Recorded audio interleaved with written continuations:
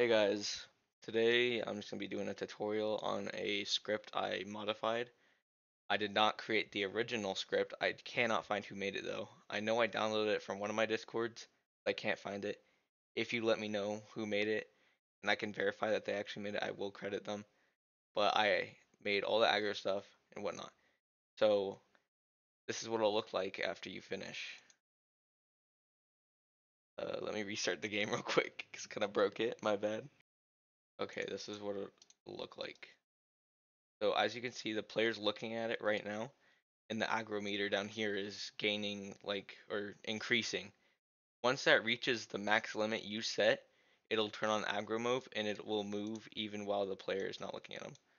Oh, wrong thing. Gorilla Player, if I grab that, it should start chasing like that. I think aggro is active right now. Forgot to lock it. So if I go here, let me go in here real quick. Let me lock this so I can actually see what I'm doing. Uh, yeah, see, aggro is active, so even if you're looking at it, it will still chase you, like that. And then once that hits zero, it should disable, and then you can look at it again.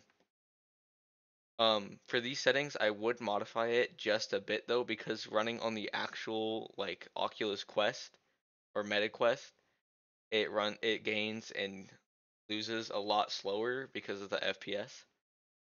Um, yeah, and then you if you want to test it, you can even set it manually, it'll turn on, or it should. Um, if I turn that off,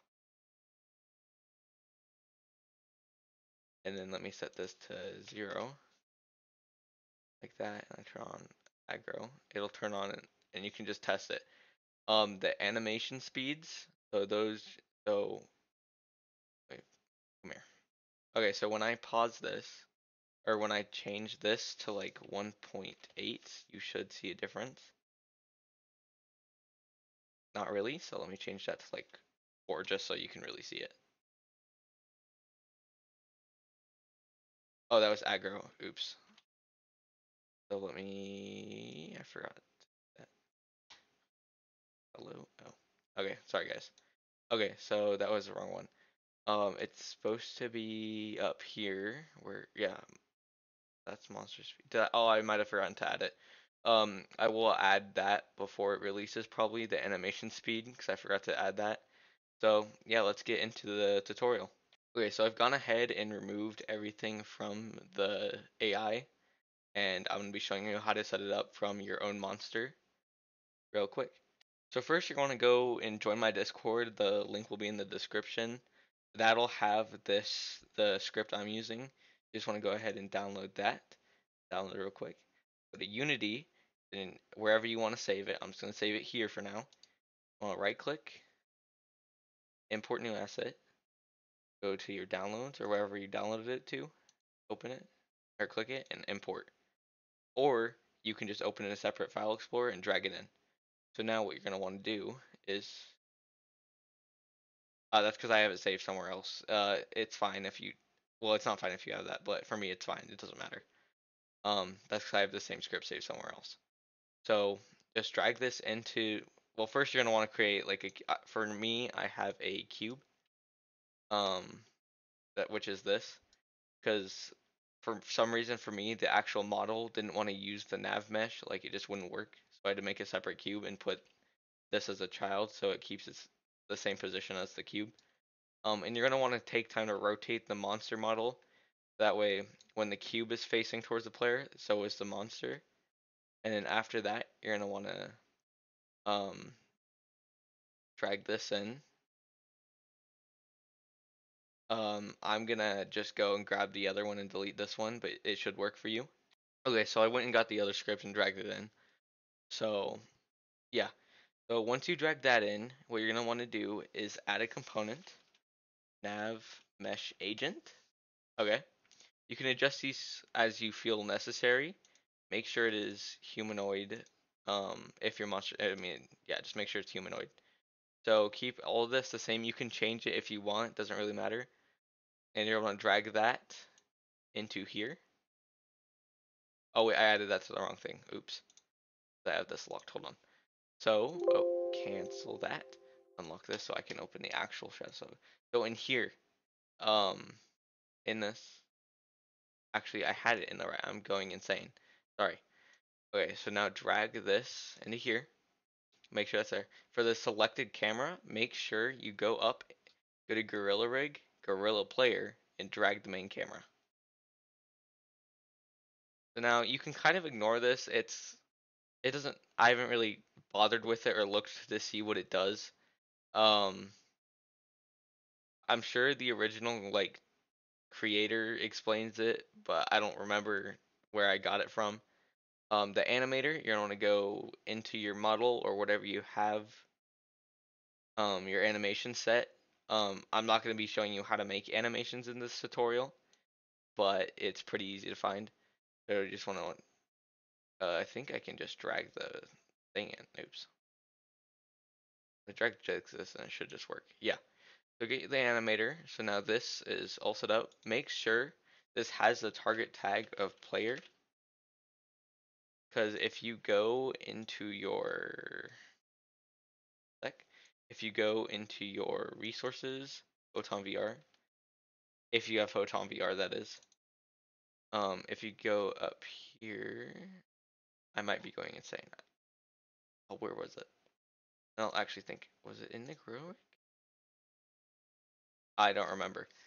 Um, I actually don't remember where it is. Um, anyway, you should just have the tag player in there somewhere because I do. I don't remember what it's in, but so let me go back to here. Go back down. Anyway, uh, make sure it's player. I mean, it doesn't really matter what you use as long as it's actually connected to the player. Um, I'm just gonna ignore this for now. This all works. Monster speed, that all works. So down here is where you can, like, how many, I guess, I won't want to say seconds, but like the max, um, like value until it turns on aggro.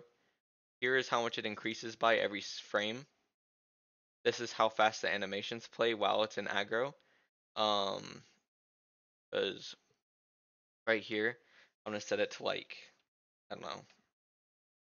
Um, I'm gonna say like two. The aggro speed is set to four because the normal speed is 3.5. Just make it slightly faster. Um, don't touch this. This is just so you can monitor what's happening. Um, that's all working. So now you want to click your map like the whole object, okay? And you want to go to Window, AI, Navigation, Obsolete, and click that. That'll open up this, okay? You want to if you're over here or over here, you're gonna want to go to Object, um, turn on Walkable. So click Navigation Static and turn on Generate Off Mesh Links. Click this, make sure it's on Walkable, okay? Then you're gonna want to press bake. Oh, by the way, yeah. So hold on. So you're gonna press bake. That'll bake. It might take longer for you, but if you don't have the navigation, you're gonna want to go up to here into the window. Um, if I remember, yeah, package manager, and you're gonna want to look for click packages Unity registry. Search for AI and install the AI navigation. And then you might need a restart, I don't remember, but it should be there now. So after you do that, if you want to have walls like this, sorry for the lighting, I gotta fix it. If you want to have walls like this to, where the AI or monster can't pass through, just select one at a time or wherever you place them and then click this. Don't turn this on. Go to non-walkable go back and press bake for all of them.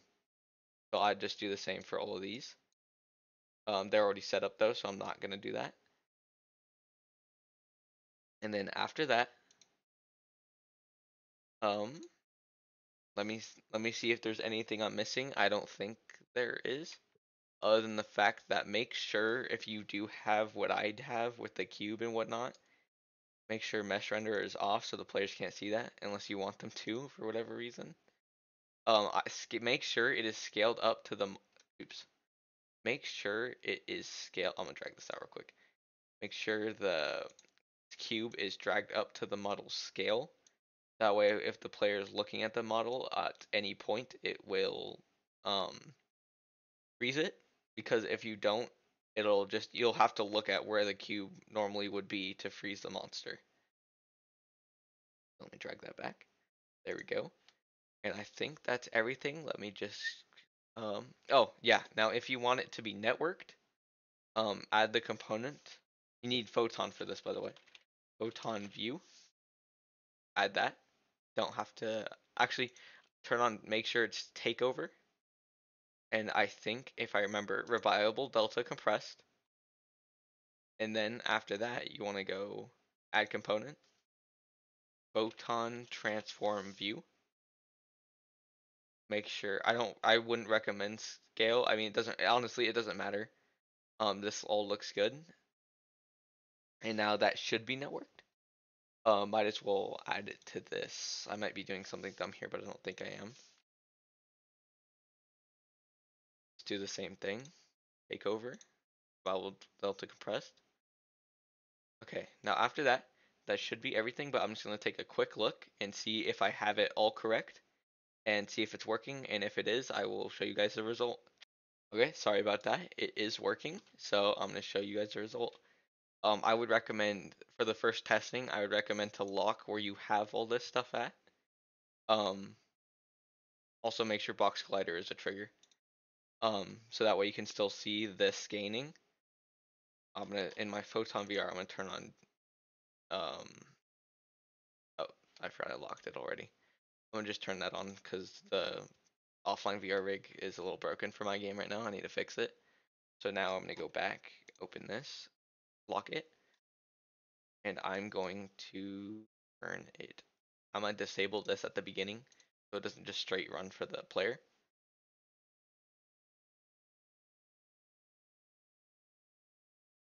So now, um, if I go to Gorilla Player, I'm gonna turn off the mesh renderer for the cube. If I go here and I turn this on, it'll freeze and that starts gaining. Look away, it'll start chasing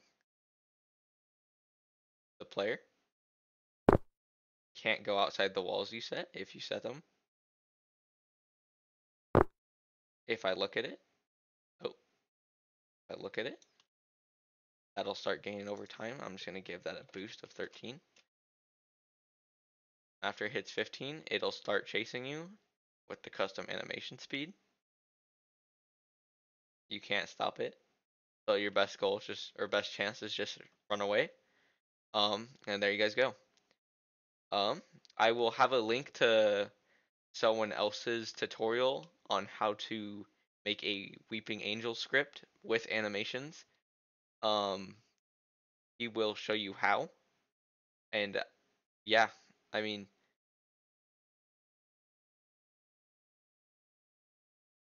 just make actually even if there are no animations hold on let me check the script real quick and see if i have to edit it so it can work without animations. Okay so it will work without animations just make sure that the actual model or the ai block has an animator and to drag that in uh, because it freezes the animate or it freezes the or sets the speed to zero to freeze it. Um, so just make sure it has an animator and all should work perfectly fine. Um, I think I showed that in tutorial. I actually don't remember. Um, but yeah, just make sure inside of the model you have an animator. Um, I don't think you might have to put these in, but I'm not 100% on that. Sorry um, but it should work perfectly fine. And just leave a like and hit the subscribe button if you like the content. Sorry, this isn't the most like um, consecutive or organized tutorial. I just kind of go about this without a script. Um, feel free to share Discord with your friends because I'm trying to grow it in a better community. Um, and the app, actually, the, my game, um, Hellmonkes, just released. Um, that you can download, like an APK that you can download with SideQuest hopefully soon it will get approved for App Lab, and then you can download it from there and just run it on standalone without needing SideQuest. Thanks for watching. Bye.